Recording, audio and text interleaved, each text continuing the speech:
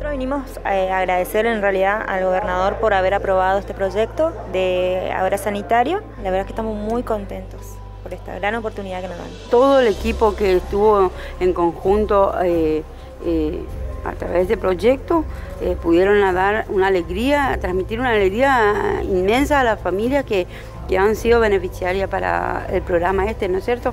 Yo tengo siete hijos cinco nenas, dos varones, pero mis hijas lloraban, siempre me decían, me reclamaban por el baño, cuándo íbamos a tener, y bueno, se dio la posibilidad y doy gracias a Dios por eso. Y a todo el equipo maravilloso que hizo posible esto. No tengo palabras para agradecer tanto. Hoy es un día maravilloso para mucha gente.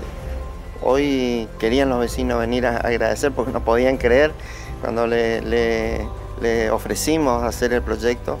Y bueno, es una satisfacción, es un día para nosotros extraordinario. Eh, el proyecto es llegar a distintos municipios este, y lo que dijo el gobernador que, sería eh, totalmente inexacto que, empecemos y que no terminemos, así que eh, es llegar a donde se pueda.